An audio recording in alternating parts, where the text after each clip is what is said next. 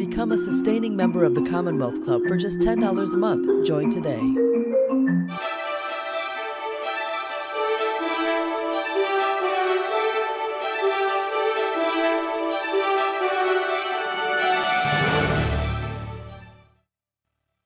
Welcome to the Commonwealth Club. I'm George Hammond, Chair of the Humanities Forum, which organized tonight's event. We've had over uh, 900 programs at the Commonwealth Club since the pandemic began, and we keep moving in and out of our studio um, at uh, 110 in the Embarcadero in San Francisco based on what's going on in COVID. And today we're virtual again. Um, but we have a great guest, Ian Morris. He's been at the Commonwealth Club many times over the decades. Uh, not quite as deep history as he talks about. We haven't gone back that far, um, but we, we definitely go back a long time. And he has a great new book, Geography is Destiny. It's been reviewed in lots of the top publications across the world. And he's got some big ideas for us about Britain for the last 10,000 years. Um, so, first of all, welcome back to the Commonwealth, Ian. It's really always great to have you here. Well, thanks very much. Yeah, always a pleasure to be here. So, uh, the first thing that I'd like to ask you about is uh, geography is destiny. Geography is not just in the way that you use it, it's not just the land and, and the way it's shaped. So why don't you say what, what the geography is that causes the destiny of peoples? Yeah, I think there's two important things to think about uh, with geography when you're thinking about history. And one, well, you know, one is the where the lands are and where the mountains are and the rivers and so on, the physical geography of places, um, which you know, by and large hasn't changed all that much in about 10,000 years since the end of the Ice Age and the mm. rivers and seas start settling down about 10,000 years ago. But the other side of it, um, is what the geography means. And the, the meaning of geography keeps changing through time. And so, depending you know, particularly on the kinds of technology that people have got, the kinds of organization they've got, um, what your geography means can change very, very dramatically. And that I, I think that's really the center of the story I try to tell uh, in this book how Britain's geography, how the meaning of Britain's geography has changed over the last 10,000 years, and what is that, what that's meant for its relations with the rest of the world. Well, before we go back before the 10,000 years, because we want to go back there. Uh, first, your book has lots of great maps in it, really interesting. And of course, that's important for a geography book. Yes. Um, but then my favorites are on uh, page 32, and it is the from 13,000 BC to 6,000 BC, four different pictures. How did the British Isles get formed? And I was surprised. I thought that I, I knew this, but I didn't know it. How recently the British Isles were formed. 13,000 years ago, this was the, the, the, land was much, or the, the seas were much lower. Mm-hmm. And so it was all, was all, you know, land all the way through to Ireland. I mean, there, there were, there was, yeah. was all one big chunk of at the end of the European uh, thing. And then water came flowing down over those 7,000 years or so and carved out the English Channel. Um, mm-hmm. So why don't you talk about that? Because I think people aren't worried. As soon as you see the maps and you look at it, yeah, that's flooded land. Yeah, yeah. It's actually, um, I mean, like technically, there's been like three times this has happened. In fact, um, like up till about 420,000 years ago, uh, if you walked between what's now Dover and Calais, you wouldn't even have seen much of a depression between them. It's all well above land, big solid piece of land there. And then about 420,000 years ago, there's a great glacial collapse millions and millions of gallons of water come crashing through what turns into the English Channel every second. They're crashing through there, and they eat um, this is this great big channel out between what's now Dover and Calais. And this is something the ge- geology is so cool. This is something the geologists are able to tell by scanning the bottom of the English Channel and looking at the shapes of the hills on the bottom of the English Channel. And if you get teardrop shaped hills with a kind of pointy, narrow end of the teardrop is facing in the direction that the water came from, you can tell this ch- is a channel formed by water crashing through and gouging out this channel. So you get this channel formed. And then um, the ice ages are getting colder and colder during this period, sucking up more and more water into the glacier, and the channel gets turned back into dry land again. Then, about 160,000 years ago, it gets flooded again. There's another big tsunami, big collapse. Um, subsequently, turns back into dry land again as we get new, you know, uh, mile thick ice caps over much of the northern hemisphere. Um, the number, the number of gallons of water. There's like you know two lines of zeros if you printed it all out in the book. Huge amounts of water sucked away.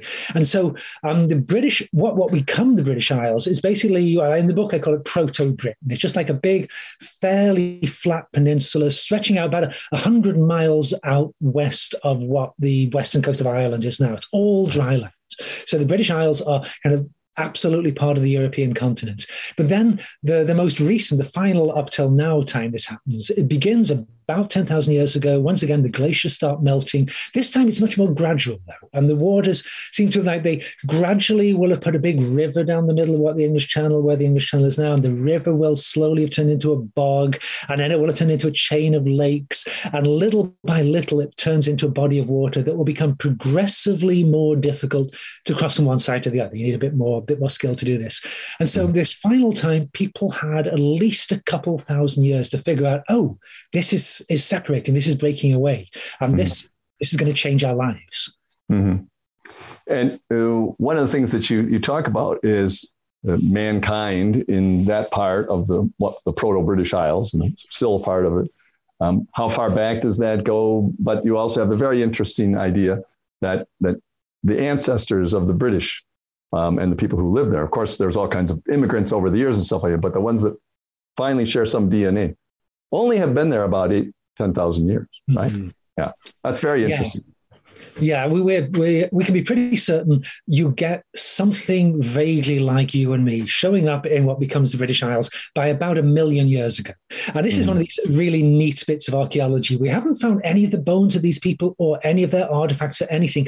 What we have found is a bunch of proto-human footprints. I mean, like a, a, cliff got washed away. Uh, this is like in the mid 2010s. A big storm washes away a cliff on the east coast of, of, England, and people walking along after this cliff has collapsed, they see these weird patterns of depressions in the, the sort of hard clay on, under what had been this cliff. And it dawns on somebody, these look like footprints. So they call up the local county archaeologists. These guys come out and say, oh my goodness, these are footprints.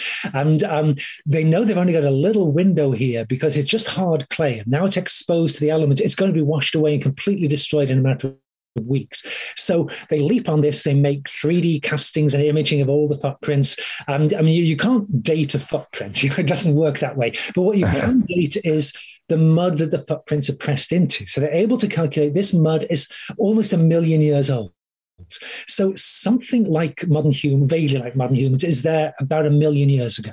But then they go away. And then other modern humans, not as pre-modern humans, a chemical Heidelberg man, these show up about half a million years ago. And then we got a lot more evidence for but they go away as well. And then we get fully modern humans showing up certainly by 30,000, 35,000 years ago. Um, but those the, the heritage of those particular modern humans, that has also gone away because there's no trace of it whatsoever in the DNA of the modern populations mm-hmm.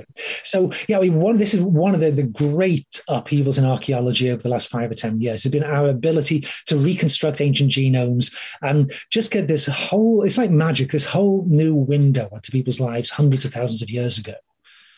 So the group that was there 35,000 years ago or whatever, the closest one, um, I guess it's assumed that when in the ice ages that they that it got so cold that they just moved south and, yeah. and, and, left everything behind. And then the ice was so strong or, and, and it was so cold that nobody moved back there until after that started melting again.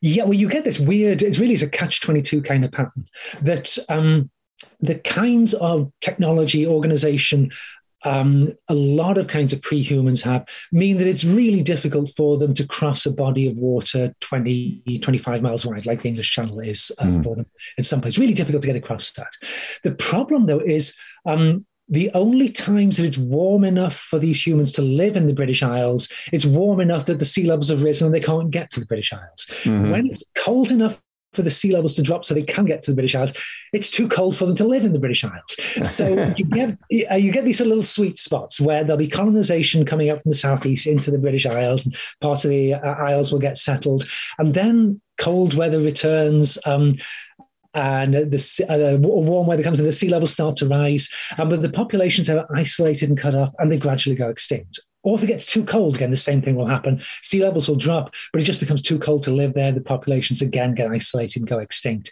And this goes on and on and on. And um, it's like you know, if you had a, a, time machine and you'd come from some other world and visited um, the British Isles around 100,000 years ago, you probably would have guessed that the long term history of this part of the world is going to be these repeated colonizations from the continent, followed by extinction events, and the Isles sit absolutely empty for tens of thousands thousands of years.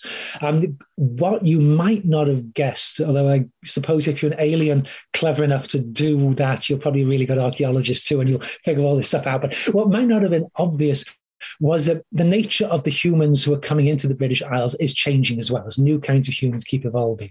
Mm-hmm. And by the time you get fully modern humans showing up about 32,000 years ago or so, they are able to, they, they have technology at their disposal that allow them to cross the English Channel. So, like this final episode of the Isles getting turned into islands about 10, 8,000 years uh, BC.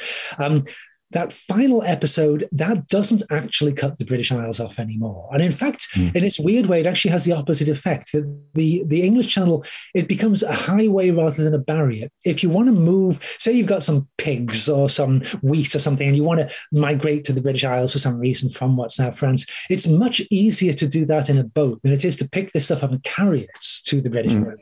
Mm-hmm. So the, the the water actually becomes a highway rather than a barrier.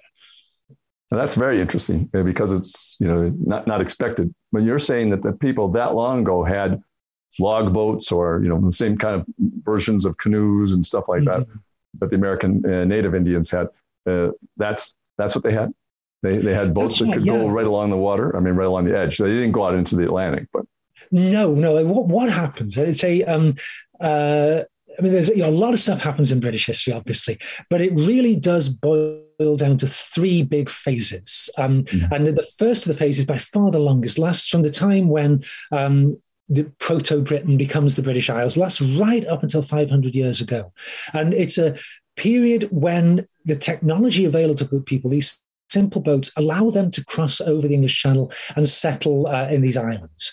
Um, but the kinds of organization that people have got mean that there's, there's no organization out there that can stop anybody else from doing this. So basically, anybody who can get to the continental side of the English Channel is able to cross over to the island side of the English Channel as well. And the history of the British Isles throughout this long period, lasting right up to 500 years ago, basically, in spite of all the variation, is one simple theme that British history is an extension of continental history. It's as simple mm-hmm. as that. The English Channel is a highway, not a barrier, whereas the Atlantic Ocean is a barrier, not a highway. And for, mm-hmm.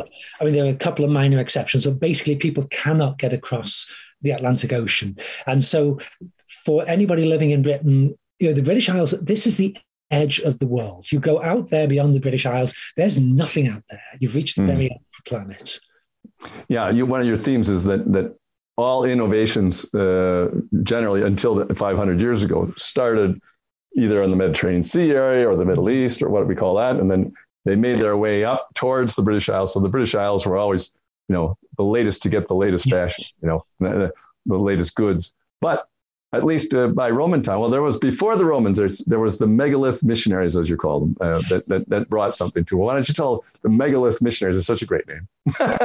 yeah, yeah. Well, I think you're, you're absolutely true what you say about how um, the the fact that the English Channel is a highway, not a barrier, means the British Isles are very much part of the larger European stage. But they are the, the wings of the stage and not front and center in the stage. Front and center is the Mediterranean Sea, it's the Middle East, it's India, ultimately even China. And basically, everything you can think of as a big thing that happened in history up till 500 years ago, everything that happened began began off to the south and the east, away from the British Isles, in these big important places where all the people are, all the wealth is concentrated, all the innovation is happening there. And so all of the new ideas about government, about religion, all of the new microbes, everything starts there and kind of spreads out from there. And because the channel is a highway, not a barrier, they ultimately end up coming to the British Isles. And the British, uh, as you say, British are the last ones to get everything. And it's a, it's a very mixed bag. I mean, you can tell the whole story really is about this process of um, unevenness generating between the centers of innovation and other places, then the unevenness evens out. And sometimes evening out is this magnificent thing like you get Renaissance art evening out from Italy and coming to the British Isles. That's that's pretty cool if you can afford Renaissance art you get the Black Death evening out across Europe and coming to the British Isles, and that is much less good because that wipes out half the population. But this is really this is what the story is about for for 500 years. And um, you, you mentioned the maps in the book, and what I do is that each of these three phases of history driving the British story, I try to sum up each of them with one map produced by people at the time, which kind of captures the essence of what's going on. Mm-hmm. And for this first phase, I use a map that now hangs in Hereford Cathedral. It's a wonderful thing, uh, painted around the year 1300. And the great thing about it is how it shows very clearly the British Isles stuck in the very, very edge of the map of Europe. It's actually quite hard to find them unless you know what you're looking for. And the English Channel is painted on this map as being narrower than the River Nile. The guy just really grasped what the great geographical forces that were driving the history of the Isles in his time you know, it, you're, you're talking about the maps and how they, you know, show how people were thinking about things. You know, I've seen a map, for example, looking out at the Mediterranean Sea from Venice, and it looks very, very different from the way we usually look at it. Mm. Um, but when I was uh, I was in the Soviet Union uh, in 1973, and I bought a map of the world, and and the Soviet Union, of course, is in the center of the map, and it's already big. But being in the center of the map, it's really big. You know, I mean, it, it, it it's just huge and and uh, the Pacific something's got to give. So the Pacific, you know, is is kind of big, but the Atlantic Ocean is squashed over to the side. Mm-hmm. Um, and I thought that the only way to be fair to the to, to the Earth as a planet, you know, and so on, is to put the Atlantic Ocean in the middle, because that would make the Atlantic feel better as far as the Pacific Ocean is concerned. yeah, I think the, you learn a lot about the world by drawing maps with different places at the center. It really yeah, yeah, exactly. Well, you, you, you, did a great job on that too. As I said, the maps are great. So uh, let's uh, go back to those Romans. I mean, the Britons were way out on the edge of their uh, horizon, but they had tin, right?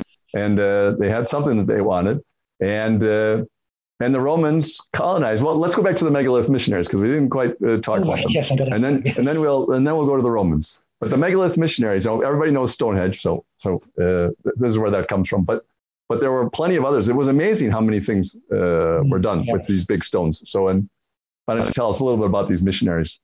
Yeah, this is um, one of the most interesting periods in British prehistory. That uh, the basic story throughout the you know, all the way up to about the year 1500. The basic story is, like I say, Britain is an extension of European history, and mm. the the history of the south and east part of the British Isles, what ultimately becomes England. English history is about what comes its way from the continent, whereas Welsh Scottish and Irish history are about what come their way from England. And this is an unpleasant fact, but it is basically the driving principle of the internal history of the British Isles. The continent has the concentrations of wealth, population, power, um, sophistication. England is slightly less wealthy, powerful, sophisticated, and so on. And then the Celtic part of the British Isles, the soil is thinner, the weather is even worse than English weather, um, populations are smaller, um, and they're just always on the receiving end of what comes their way from England. And but they've been complaining about it ever since. Yeah, well, they've been complaining about it ever since. Yeah, and, this, uh, and it actually it does continue to structure the, sort of internal strategic relationships in the British Isles, very much driven yeah. by this geography. But this period, around 3000 BC, this is one of the few periods when this kind of gets flipped around, and um, all kinds of complicated reasons why it's happening. But the, the big thing is. Um, travel from the continent over to the British Isles and communication. Um, the the what's normally the main channels for doing this across the channel into southeastern England that really dies down, and instead you start getting these movements of people that we can trace nicely now through the DNA up from Portugal, the Atlantic coast of Spain, um, uh, southwestern parts of France, coming up from there around Brittany, and then up the through the Irish Sea all the way up to the top end of Scotland to the Orkney Islands Islands. Mm-hmm. And along this western channel, running up from Cornwall all the way up to um, the Orkneys, you get these amazing monuments starting to get built. And initially, they're inspired by continental prototypes, what people are doing down in Portugal, particularly what people are doing in Brittany. They've got these just amazing um, uh, columns and pillars and tombs they build in Brittany. So they start building these sorts of things in the Boyne River Valley near Dublin in Ireland. You get some similar things on the Welsh coast. Um, uh, spectacular ones up on the Orkney Islands. But then um, it's like the, the, some of the contact with the continent begins to break down again. And people in the British Isles start inventing their own native versions of what's been imported from the continent. And they invent this whole new style of monument. We call it the Henge Monument. And the name comes from Stonehenge. Um, and uh, the sort of central idea of it is this big round ditch that you dig. But then it's not like a defensive enclosure. So like if you want to defend yourself, obviously you're going to you dig a ditch and you pile up the soil on the inside. So your enemy's attacking, got to go down into this ditch, then charge up the bank, and you're at the top of the bank and you throw rocks at them, kill them all, and so on. But the Henges do it the other way around. They put the ditch on the inside, which is just mm-hmm. ridiculous. You know, you're trying to defend the place, now got to get back across the ditch. Not good. So clearly, it's not a defensive kind of thing. It's a, a ritual thing. And so they build this enormous one at Stonehenge. And we now know beyond any doubt that the initial bluestones erected at Stonehenge were brought from a similar but slightly smaller monument in the middle of Wales. And they, they dug up those specific stones out of an existing monument, brought it all the way down to Wiltshire, near the south coast of England, reconstructed it there. They brought with them um, several hundred cattle skulls from a feast that had happened about 200 years earlier and brought these to Stonehenge and reburied them at Stonehenge. They, they really, really cared about these particular cows' heads.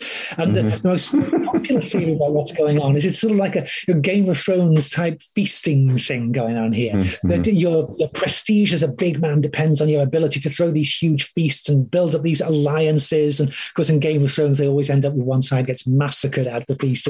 You know, they, they have these huge feasts, and there's been some feast a couple of hundred years back that was so important that bringing those particular heads with them, along with the actual stones from the monument where they used to do their ceremonies, this is as your life and death kind of thing. So they do all this, they build this monument, and this for the really the first time in British history, one of the only times, we see the real centres of innovation in Britain, not in the southeast, not around the Kent kind of area, but off in the Irish Channel. This is the absolute mm-hmm. centre of everything in the British Isles. But then in the long run, geography always reasserts itself. Over the succeeding couple thousand years, once again, the centers of wealth and power shift back to what eventually becomes England. The English kind of appropriate Stonehenge. And, um, well, this is a story that goes on and on as well. The English kind of taking over things that used to belong to the Welsh and Scots and Irish.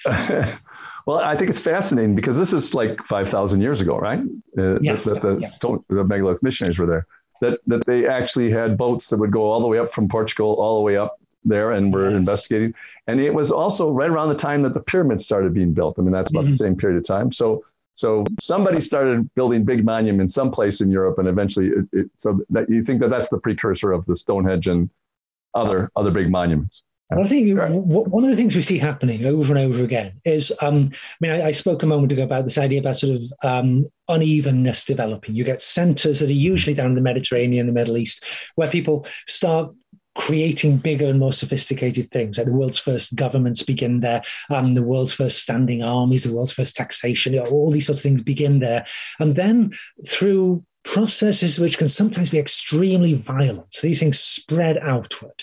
And so you know, monument building goes back a very, very long way in the Middle East, probably to at least 9,500 BC. They're building these monuments. And mm-hmm. people further and further out the Middle East start building monuments until you get to the point people are building places like Stonehenge in the British Isles by that point, people back in the, the sort of cause of invention, creativity, back in the Middle East, they are building much, much bigger monuments. Like Stonehenge is big, but my goodness, the pyramids are really big. Um, mm. you know, the, the Great Pyramid in Egypt is still the heaviest building in the world. Up till 1883, it was still the tallest building in the world. I mean, these are mind-bogglingly big things. When you think that, um, yeah, they're basically they're built by people whose most advanced technology is broken rocks and the occasional copper tool. I mean, this is quite mm. extraordinary what people were doing. The amount of labor generated, and, and I mean, even Stonehenge, huge amounts of labor go into this. We can tell from the DNA of the bones of the pigs they were eating.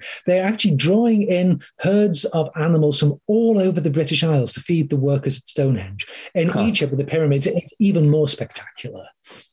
Yeah, that, that's that's interesting that you that you can tell by the food that they needed so much that they had to import the pigs from other places. Mm.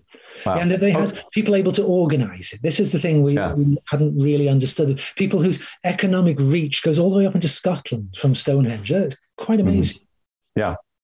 All right. So the next big big story uh, are the are the uh, Romans. Um, and why did the Romans come? Why did they eventually get that far out? I mean, obviously they always wanted to conquer something more, but hmm. what what brought them there? Because they, as you said, they were the outskirts of the uh, of the entire population in Europe, um, and probably not the most sophisticated. As you said, it was interesting. The British called, I mean, the Romans called them Britannica, which means painted people. Yeah, painted people. So so when tattoos came back about 15 years ago, it was just a return to to the.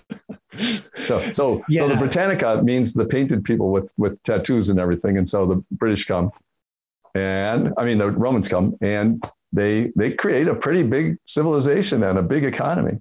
Mm-hmm. Yeah, yeah. Now, one thing I take issue with you on, uh, you say oh. the Romans are always trying to conquer something. They're actually not.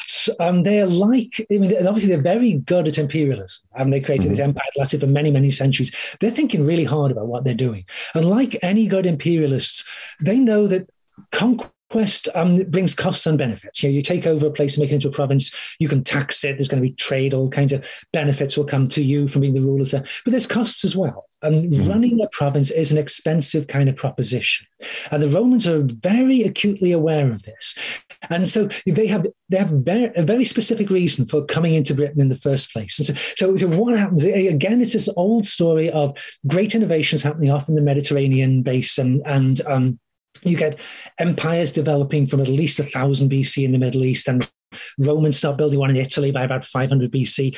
Um, they, for various reasons, it's spreading out into Europe. And then Julius Caesar.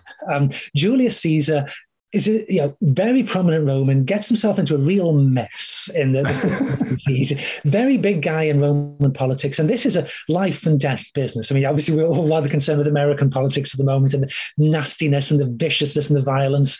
Oh boy, we we're we're kids. Absolutely.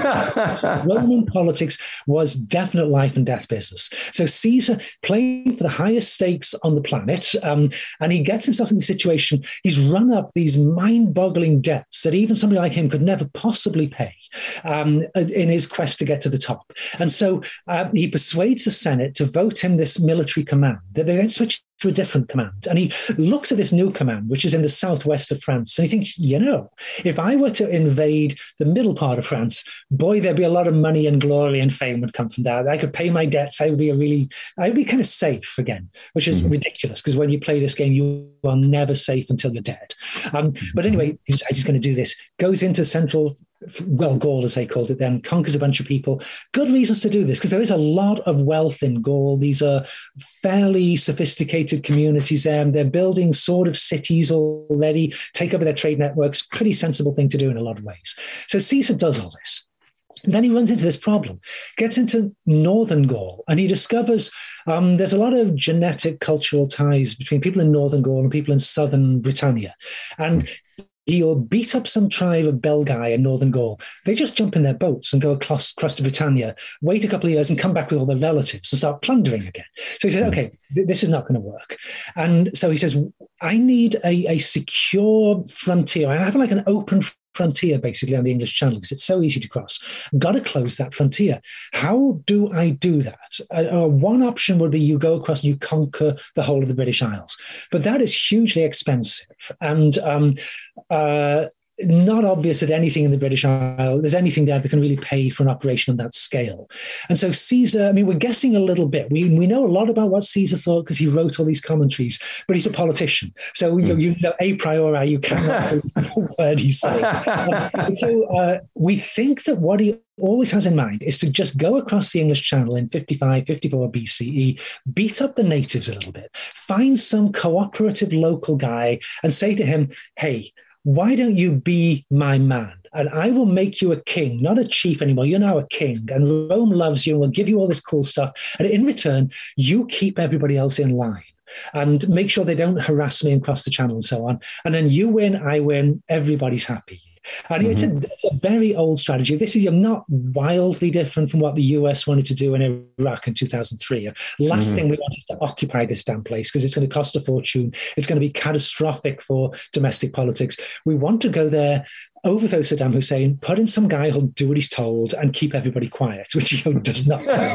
nice job. No super Caesar either. And so the Romans end up, um, they they decide by hundred years later, they decide, yeah, that didn't work very well. We've got to conquer something. But then the big question for the next really century or so is, well, what do we have to conquer? We want to calculate the ideal tipping point where we've conquered enough that gives us this strategic buffer and keeps people out, but also not so much that it doesn't pay for itself anymore. And we've got to mm-hmm. work out where is that line. And they spend really 100 years trying to figure out where is the line. They consider conquering the whole of Scotland. They actually marched to the northern tip at one point. Um, they possibly sent armies across to Ireland at one point. It's not, not entirely clear. Um, hmm. but geography always kind of has its way with people. And the, the, frontier keeps funneling back to roughly the same place, which is roughly where Hadrian's Wall ends up, roughly on the England Scotland border now. England, Wales, not Scotland, Ireland. So mm-hmm. again, these sort of geographical principles run through everything. But what the geography means keeps changing as the technology and the organization changes. Well, you have a, you just described one of the concepts that you talk about, counterscarp. Um, that is, you know, you, yes. you've got to have some land that protects the other land that you really want. so, That's so it's a bu- yeah. like a buffer zone. So exactly. So, so Britain was a buffer zone, basically. You were saying.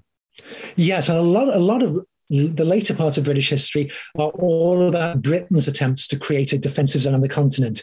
But um, back in the first century BCE, CE, um, you know, the, the, real driving player is the Romans. So they're looking at this from the continent and they see Britain as being the buffer. And this term counterscarp, um, this is a, a word I borrowed from a guy named William Cecil, who was Queen Elizabeth I's main advisor. Mm-hmm. And in 1567, he says to Queen Elizabeth, what we need to defend defend England against these powerful, scary French people and Spanish people is what, what they call a counterscarp, which is like the outer ring of defenses in a fortification around a fortress. He says, you've got to build a counterscarp on the European continent. And what that will do is stop continentals from getting all the way to the English Channel. Because the minute they get there, there's really nothing you can do to stop them crossing over it into England. Because, mm. well, at least before 1567, the technology doesn't doesn't allow you to blockade enemy fleets in their harbors. Mm. There's nothing like what we now speak of as command of the seas. That just doesn't exist. And there's no mm. government can possibly raise the money to pay for that, even if we did have the technology. So yeah, this counterscarp idea, this really runs through the whole story. Yeah, it's a very interesting, and we'll we'll back up again to, to the Romans. So the Romans were in charge for quite a while. Um, but then they started to collapse back in Rome, and then that that made everything retreat. Not unlike other collapses that have happened uh, recently, like when the Soviet Union collapsed, everybody mm-hmm. retreated back. So they retreat back. The Brits are left alone uh, or, or on their own. Um, and then you, you, you say there's the first European Union. I thought it was a very interesting way of saying it. And it was a soft power rather than hard power. Mm-hmm. Why don't you describe it? Because I thought that was a very interesting way of looking at, at, at that institution. Yeah, well, I mean, when I was writing the book, I mean, I, I should actually back up for a moment. I I started writing this book on June the 24th, 2016, the morning after the British voted to leave the European Union. Mm. And uh, that was uh, sort of the main reason for doing that was um, I'd written several books before this one, uh, trying to look at long term global history, understand the big forces driving global history.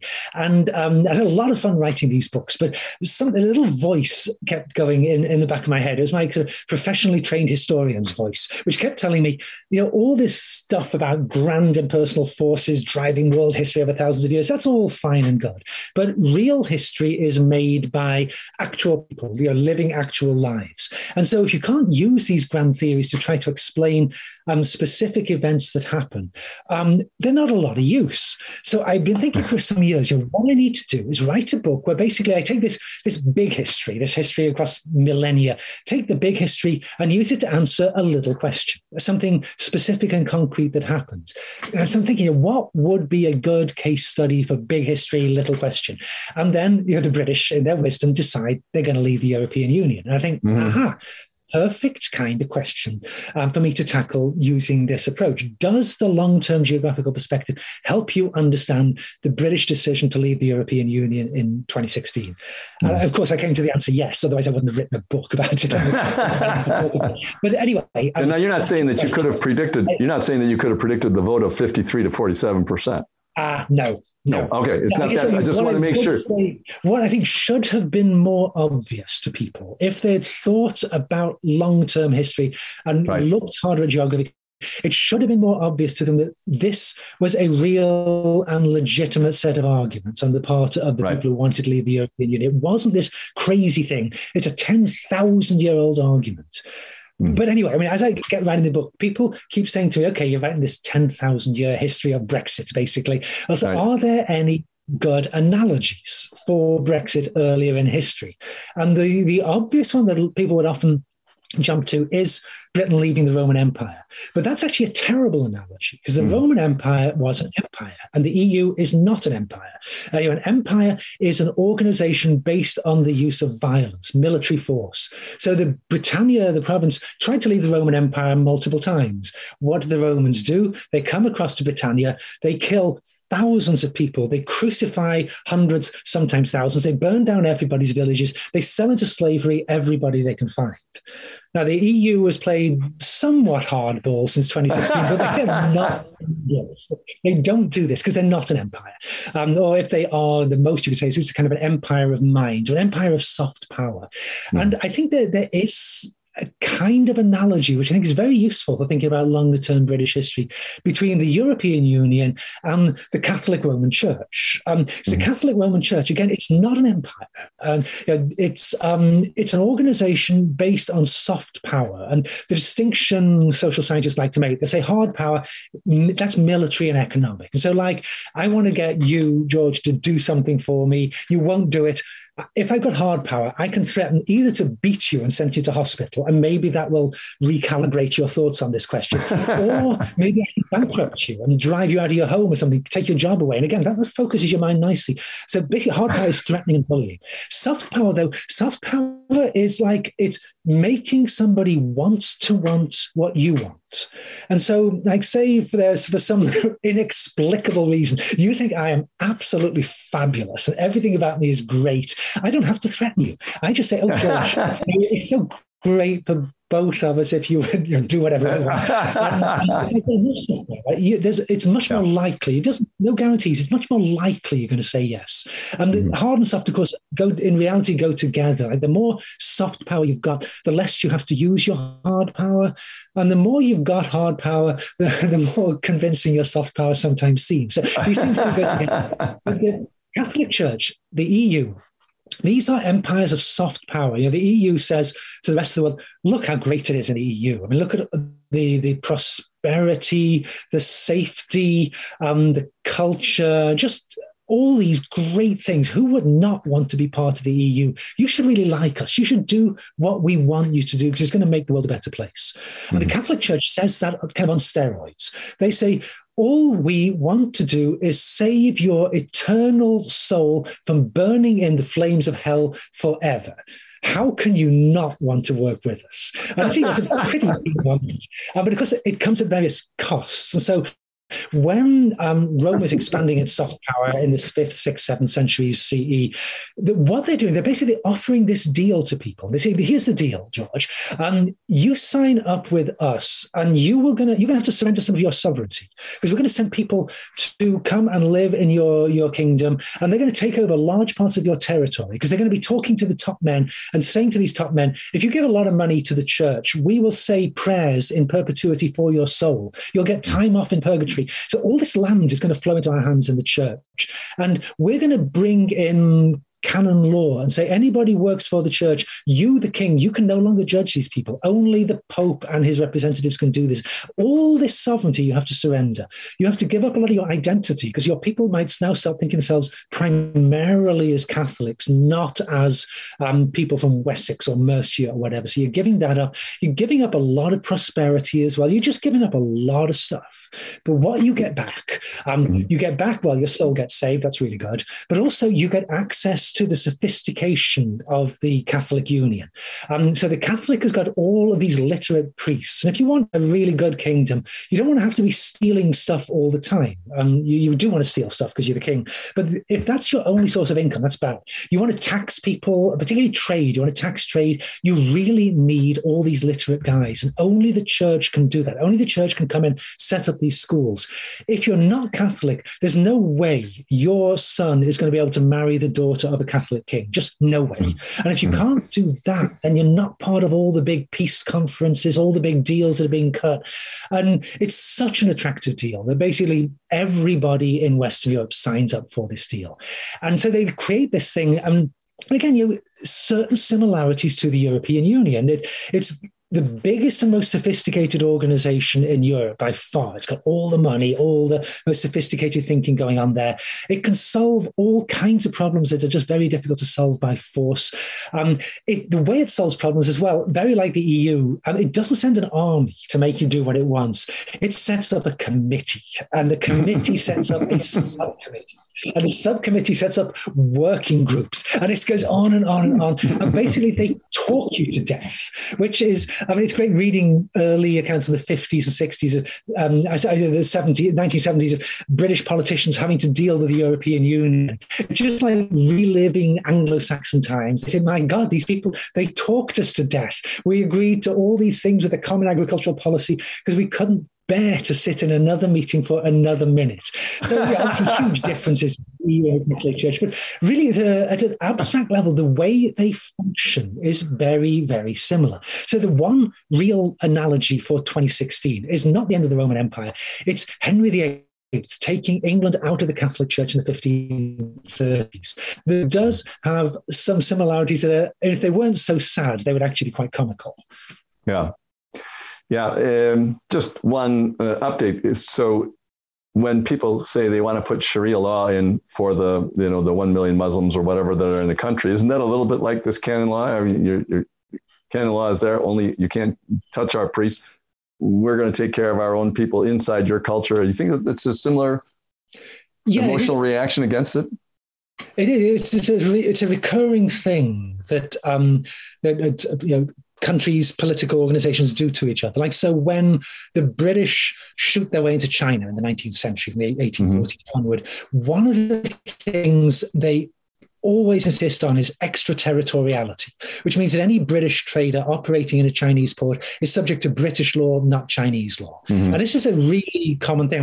One of the big um, objections to the American military presence in Okinawa was the fact that American troops would be tried by American courts under the American legal system. Mm-hmm. So uh, a series of you know, nasty incidents of rapes and fighting and stuff, where there's basically nothing the Okinawans could do about this. And of course, this is something, if you are a great power dealing with a politically weaker power, this is something you really want to impose. So you can guarantee that the agents you send to these countries um, can be brought home, not left to rot in a, a Russian prison or something like that. Um, it's a, a bit more it's a bit more of a hard sell for muslims in britain to demand sharia law for mm. treatment because they don't have somebody coming with a lot of guns to shoot the british if they argue with this so um, mm. i think it would be a, quite a remarkable thing if it was um, agreed the other way around yeah all right. Um, so you mentioned Henry VIII for a little while, uh, for you know just one short, and we're going to have to skip over a bunch of uh, period of time so that we can get to the present, uh, since we've we're at six fifteen already. And uh, you called his uh, exit from the Roman soft power, which was had been soft power for a thousand years, um, as Anglexit.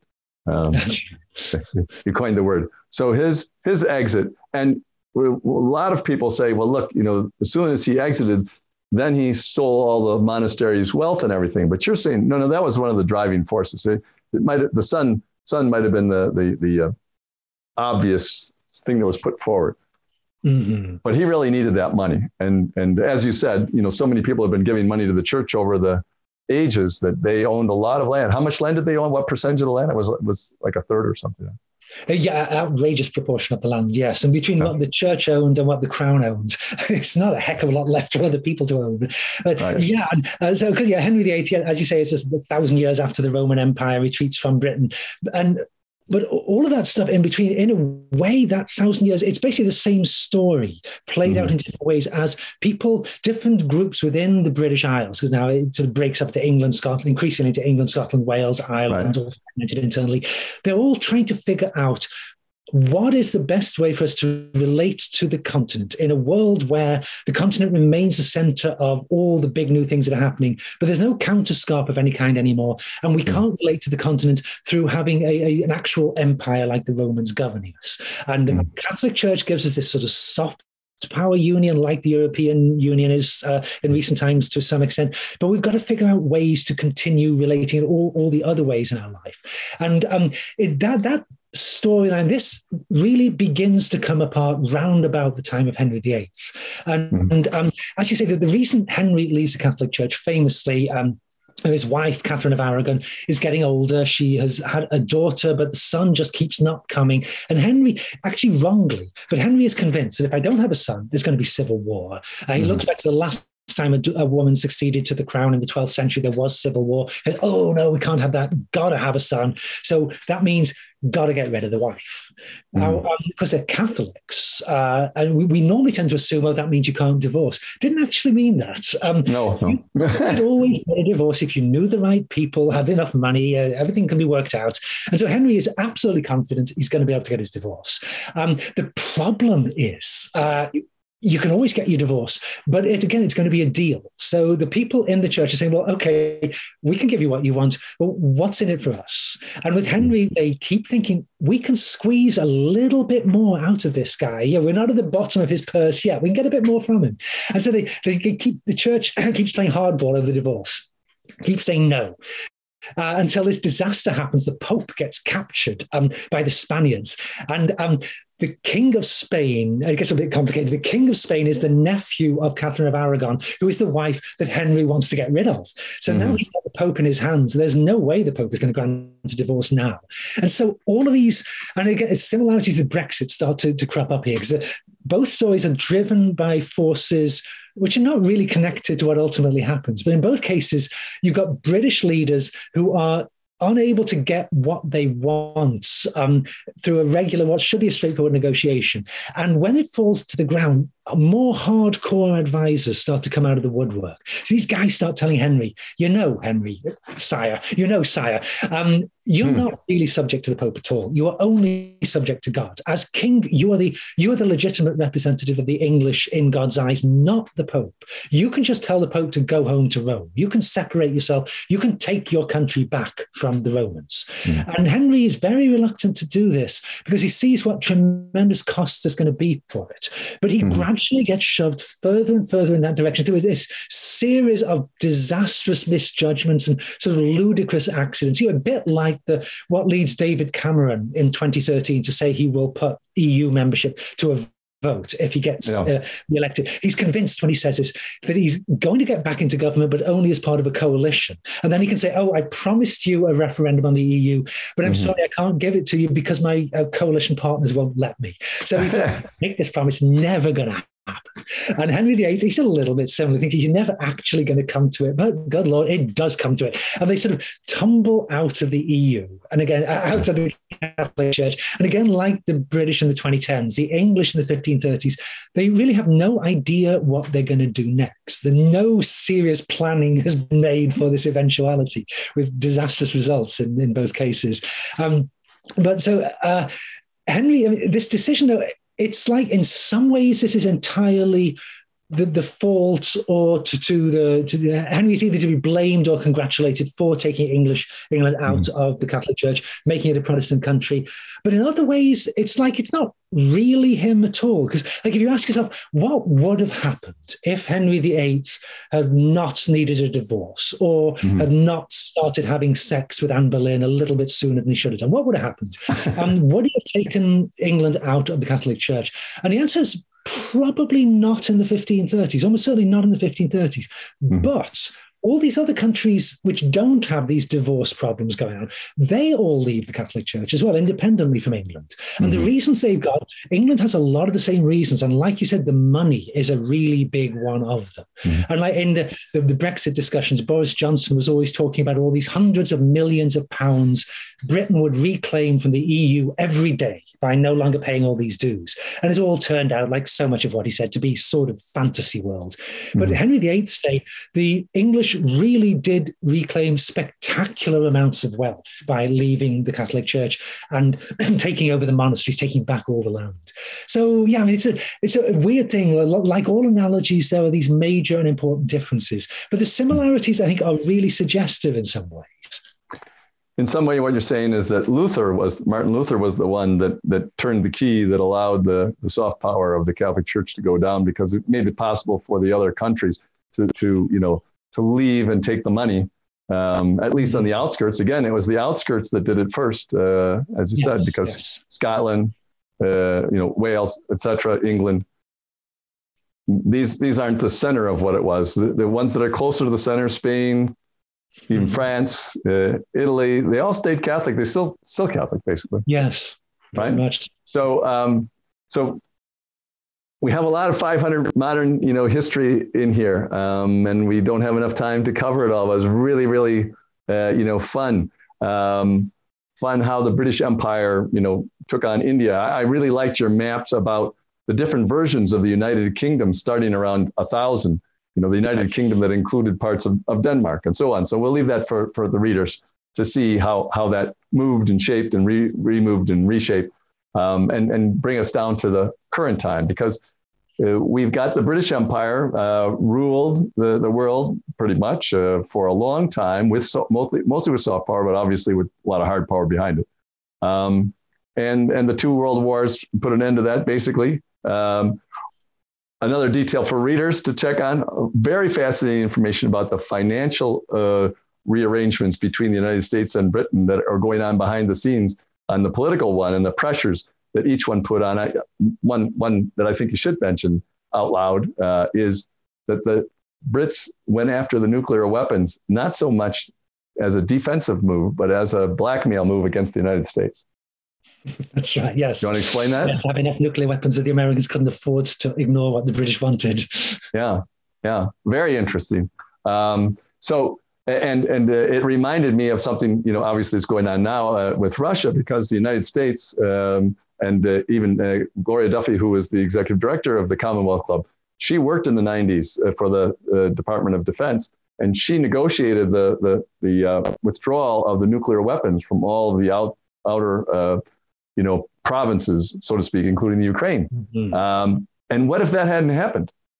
What you know, what if all of those Kazakhstan and and and Ukraine and everything kind of grabbed the nuclear weapons that were on their property uh, when everything fell apart, and then we faced uh, the Russia versus Ukraine war. So why don't you why don't you talk about how what's going on in Russia and Ukraine uh, relates to this big history idea of land and the counterscarp near it and how how centers of power discuss you know relate to other countries uh, based upon that. And what what we can expect from this? Can we just expect it to continue on or or will people give up on the idea yeah i think um if uh you know, if you have any doubts about the way that geography is destiny, just ask somebody from Ukraine, and they, mm. they will tell you, of course, geography is destiny. I mean, the very name of the country means borderland, and it's been mm. fought over by rival empires, by Poles and Austrians and Turks and Russians for hundreds and hundreds of years,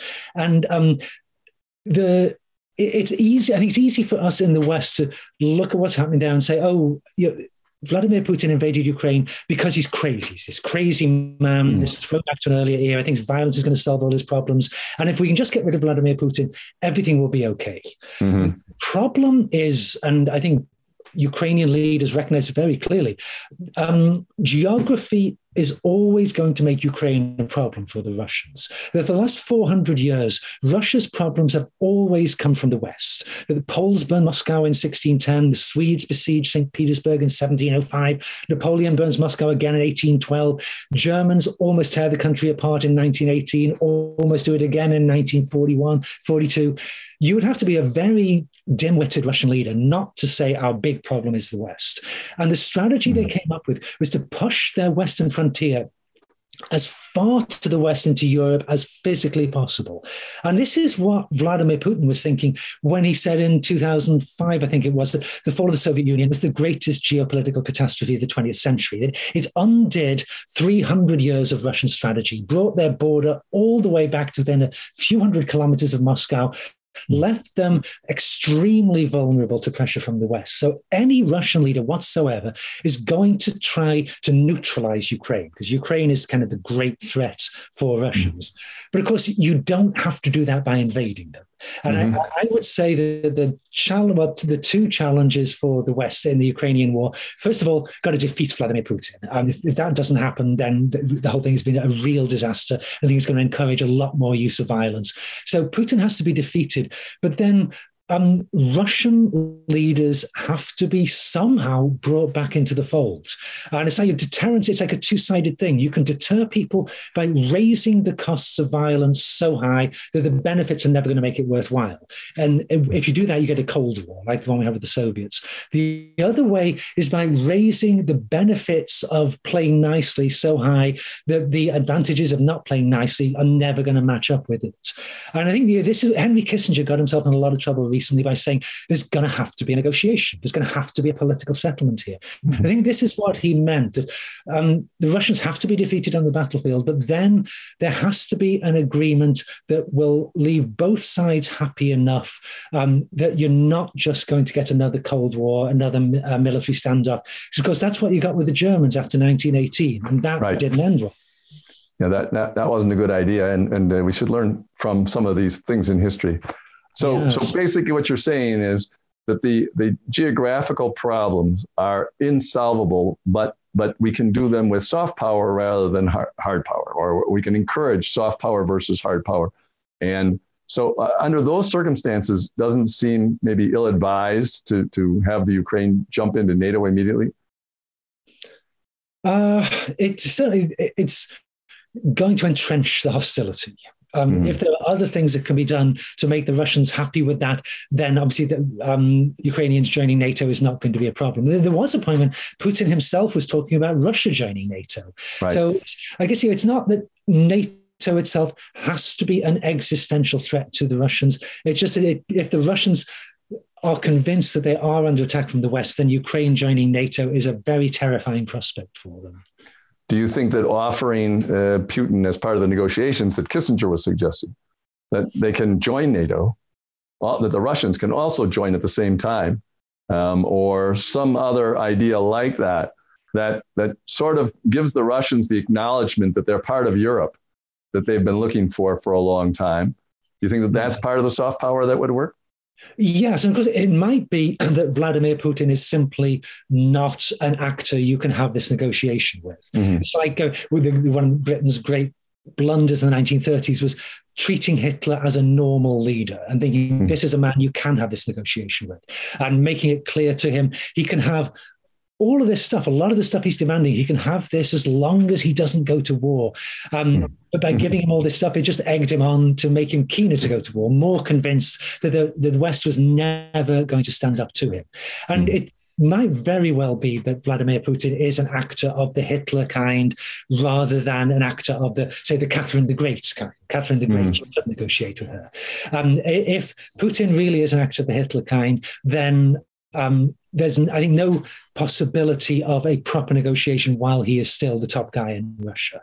Mm. And I think you know, anyone who replaces him, even if Navalny was able to replace Putin, Navalny is still going to think Ukraine is a threat. Mm. But I don't think Navalny is going to conclude that the way to solve the problem is by invading the country. I think that's the kind of thing uh, we have to look for. You know, either believable signs that Vladimir Putin is ready to negotiate and find a settlement, or um, having someone else to negotiate with.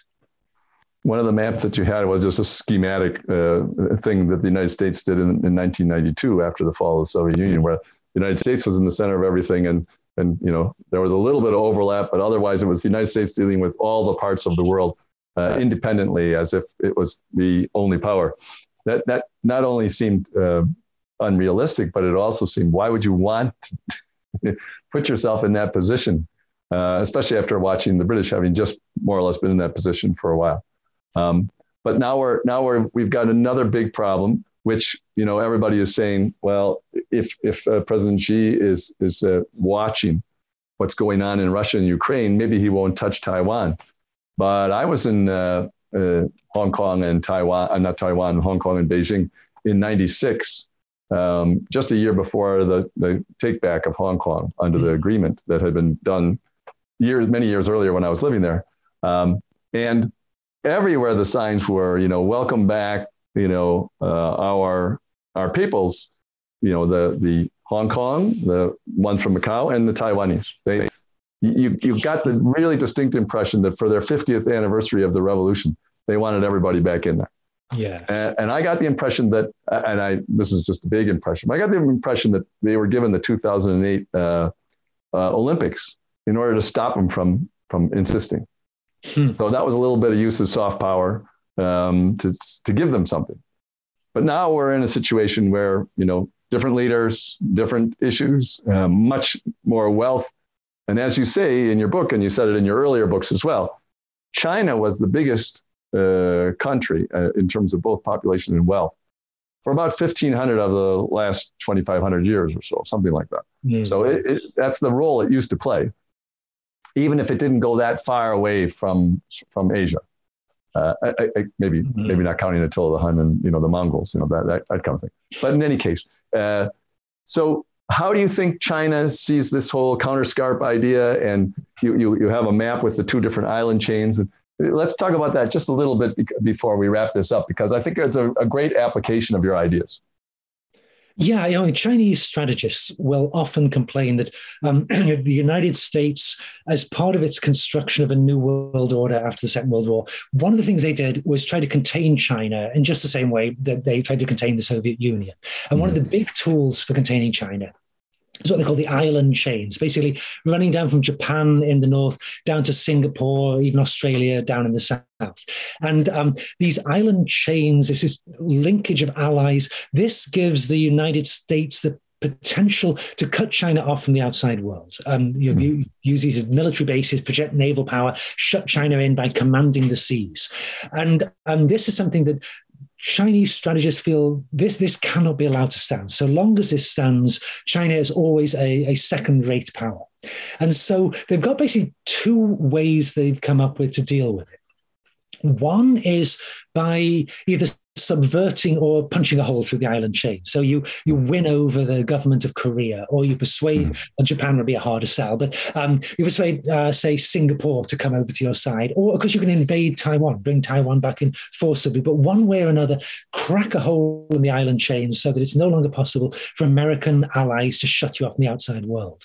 But they've, they found another way as well, uh, which is instead of trying to break through the island chains, to outflank the island chains. And these again mm-hmm. these very old strategies you see powers using both strategies going back to ancient times. And the Chinese version of this is the Belt and Road Initiative. Mm-hmm. You create this chain of infrastructure across Central Asia, coming out on the Indian Ocean, the Mediterranean Sea.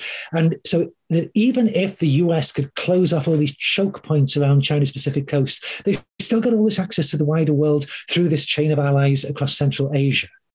And um, a lot of the big uh, sort of political maneuverings of the last 10 years have really been about the US trying to come to terms with the threat of the Belt and Road Initiative and hmm. China mm. trying to talk other powers into abandoning the US alliance so they can dissolve the island chains. Mm-hmm. Yeah, the, the, Belt and Road Initiative also is all throughout Africa as well, and, and even South America. So they're they're they're projecting their economic power the way the Soviet Union and the United States both fought over all those areas and then left them as soon as the Cold War was over. I mean, didn't leave, but what weren't giving away so much money as before. Whereas the Chinese seem to be lending the money, probably without expectation of, of uh, returns, and creating all this infrastructure and making things richer all around the world.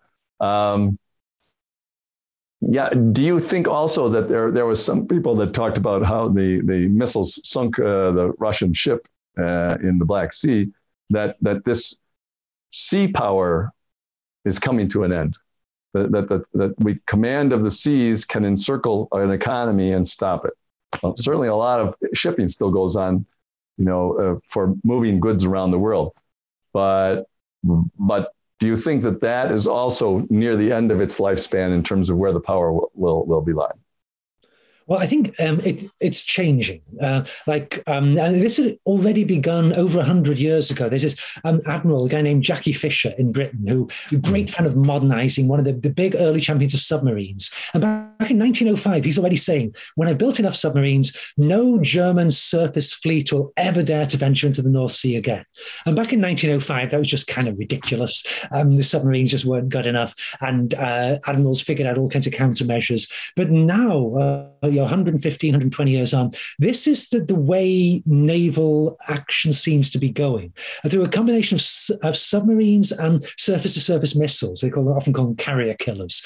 Um, it's surface fleets are not what they used to be. we're already in a situation where, um, if there were a war in Taiwan, if the US decided to get involved in it, its aircraft carriers would basically have to withdraw from the Chinese coast to the absolute limit of the range of the planes on them to be able to get to Taiwan. And they've been pushed back now. So far, if they get pushed back any further by these increasingly long range, super accurate Chinese missiles, the aircraft carriers will no longer be any use at all. Mm-hmm. So it's been constantly go, changing, constantly transformed as the technology changes, as the organization of the great powers change, what they can afford to build. As all this happens, the geography remains the same, but what it means keeps changing. One of the things you say is that uh, that powers like China and Russia say, well, you know, the United, and, and India as well, say the United States has to realize that it, they should be treating us as equals, or, or not as equals, at least as too powerful for you to just run over us all the time. Um, and that's a that's a soft power idea. You you talk a lot about you know the British soft power of today, from the Beatles to Harry Potter, for example, and and you know the United States has a lot of that soft power too. And I I, I even noticed that China and and and the Korea and so on, they also are developing that kind of cultural soft power that comes outside of Asia and is going around. And that's that's a you know something in the last 15 years or 10, 20 years that their productions in this area are capturing people everywhere, whether it's just rock groups, you start with one thing, but it has an influence. So um, we, we, should wrap this up, but I, there's a, a, good question that came in from George Steffner, um, and it brings us right back to Britain. Um, so that's perfect. Are British natural resources now adequate for its past empire supplied population increases?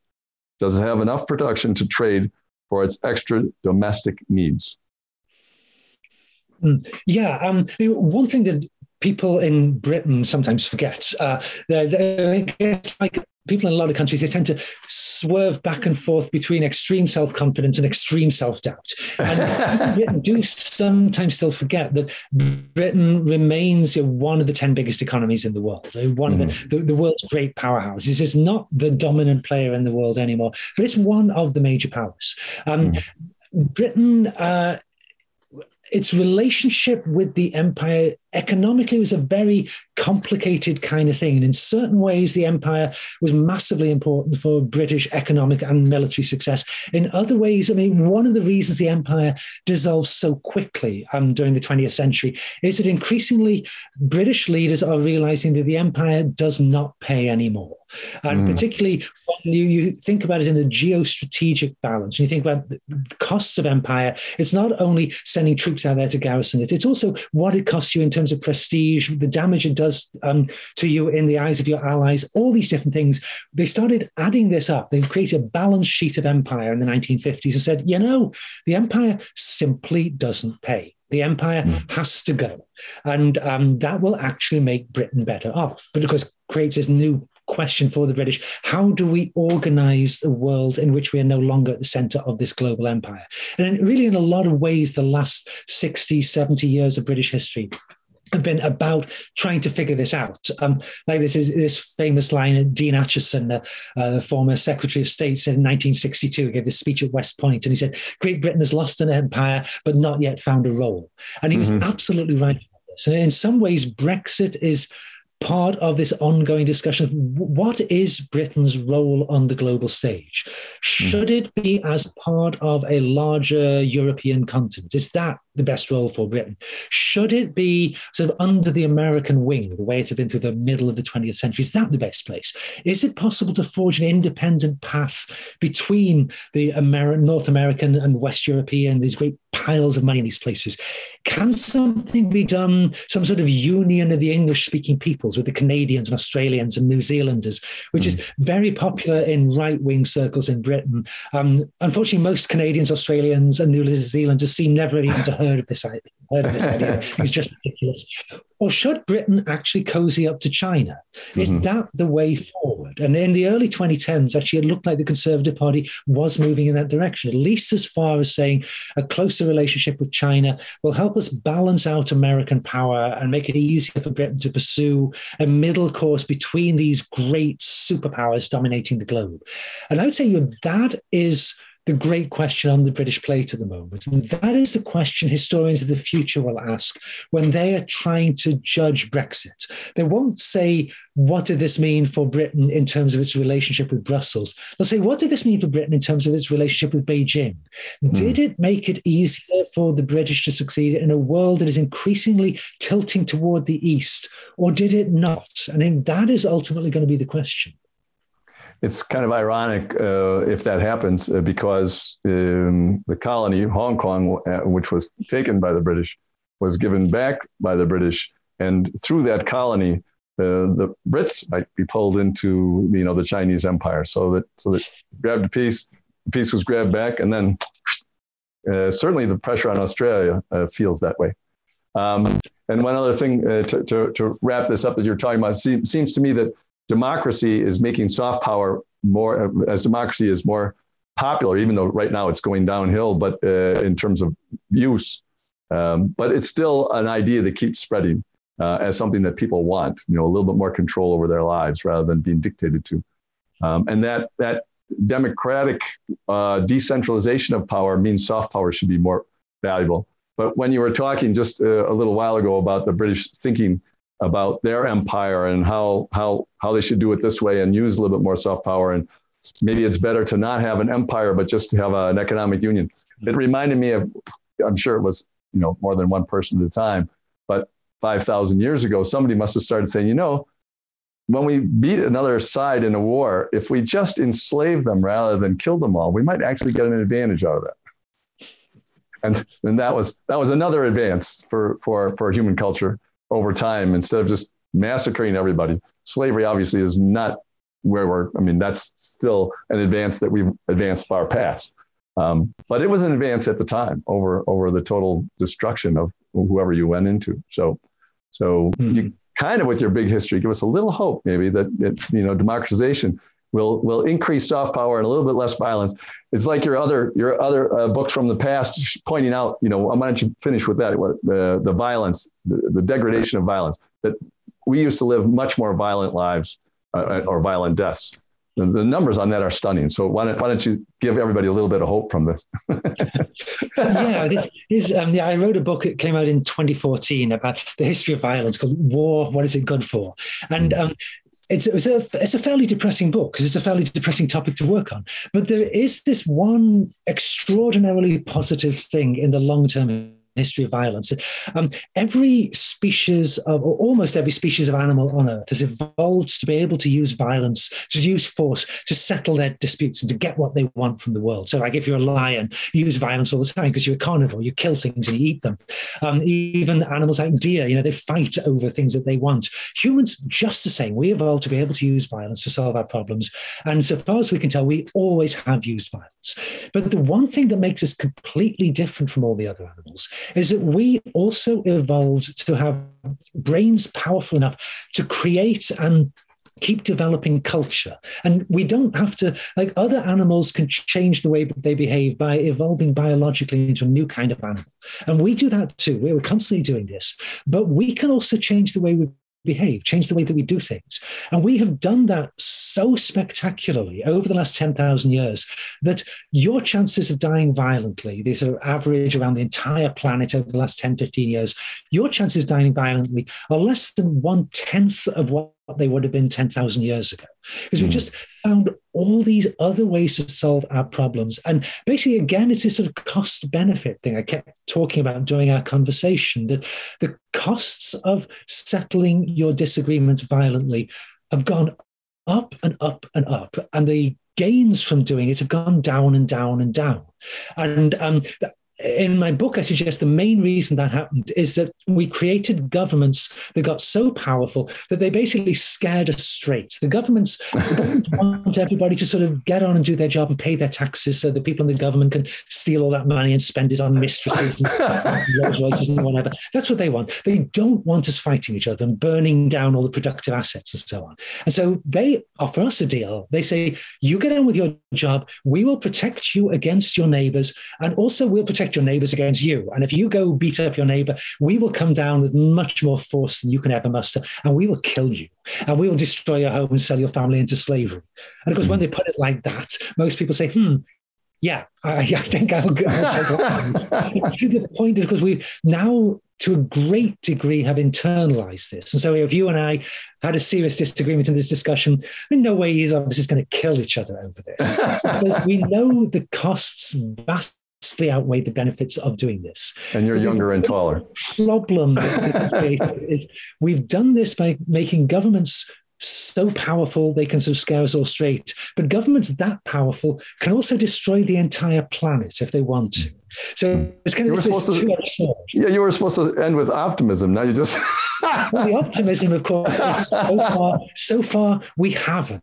If, yes. if, we haven't destroyed the planet, if we'd had this conversation 50 years ago, um, and oh, yeah. I said, you know, the Cold War is going to end, and there'll be no nuclear exchange. There will not be billions of people dead. We'll not end life on the planet. A few hundred people are going to die, and the Russians are going to say, "Oh, this whole communism thing, we don't like it anymore. We're just going to give it up." You would have thought I was mad if I'd said yeah. that. Yeah, that's basically what happened. And I think that is like the most optimistic story in the history of the entire planet. Excellent. Okay, well, that's a great way to end another conversation Ian, at the Commonwealth Club. So thank you very much for joining us. And so ends another event at the Commonwealth Club in its 120th year of enlightened discussion. Thanks for joining us, and we hope to see you again either on YouTube or on our live stream program. Thanks for joining us. Thanks again, Ian. Well, thanks so much for having me here.